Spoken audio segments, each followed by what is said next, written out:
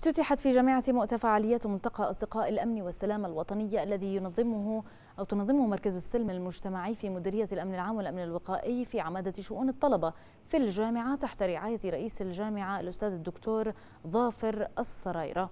وكان قد أكد رئيس الجامعة الأستاذ الدكتور ظافر السرايرة أهمية السلم المجتمعي في الوطن العزيز لافتا إلى أن على الجامعات كمؤسسات علمية ومعرفية رائدة أن تكون الحاضنة الفكرية الداعمة لتحقيق الأمن الوطني بكل أبعاده.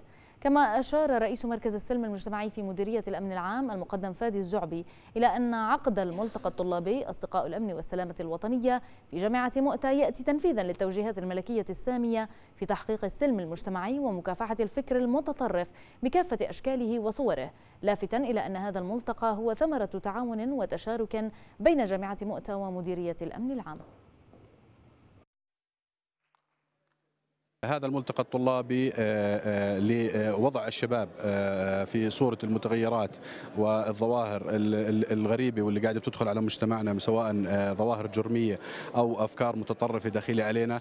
نضعهم في صورة هذه التطورات حتى نقيهم ونحصنهم من الوقوع في براثم الجماعات أو التنظيمات أو اللي, اللي يريد بهذا البلد شرا. لتحقيق الأهداف المتوقعة من نتائج هذه اللقاءات المميزة وانخراط الطلبة سواء كانوا في الجناح العسكري أو الجناح المدني لتنفيذ مخرجات هذه الندوات التي ستصب إلى آليات محددة.